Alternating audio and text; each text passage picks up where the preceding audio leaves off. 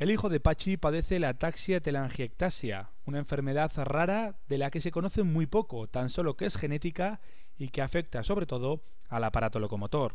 La enfermedad pues se caracteriza básicamente pues por un andar de ambulante, una falta de equilibrio, eh, falta de psicomotricidad fina a la hora de escribir. Por ejemplo, mi hijo pues eh, para escribir necesita un ordenador eh, porque escribe con trazos muy grandes y pues no, no, da para...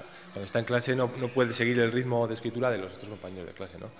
Luego, aparte de lo que es la ataxia, pues también hay una serie de, complicaciones más, como es un mayor riesgo de, contraer neoplasias, linfomas y algunos tipos de cáncer y también una los niños que están afectados con esta enfermedad tienen las defensas más bajas, con lo que tienen más probabilidad de coger, de infecciones, neumonías, pulmonías que le van debilitando el sistema respiratorio, los pulmones básicamente. Aunque tiene dos hijos más, ninguno de ellos está afectado. Pachi y su mujer son portadores de este gen, uno de los requisitos para transmitir la enfermedad. Pachi es el presidente de la Asociación de Familias y Pacientes de esta ataxia y ha creado un grupo de trabajo local situado en Vitoria llamado Enchina. Una de las primeras actuaciones de este colectivo será recaudar fondos para la investigación de esta enfermedad. Se trata de una campaña de reciclaje solidario de tapones de plástico duro como el de las botellas detergentes, yogures o tetrabricks.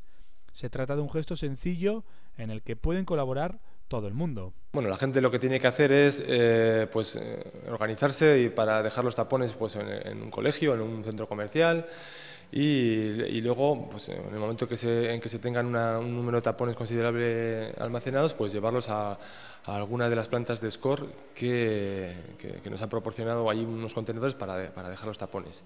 Eh, vamos a poner información en nuestra web, en aichina.org, sobre la campaña y ya iremos colocando ahí pues, qué sitios, en qué sitios se pueden dejar los tapones, eh, aparte de las plantas de SCORE, si habrá algún sitio más donde se puedan dejar, como pueden ser los centros cívicos o centros comerciales.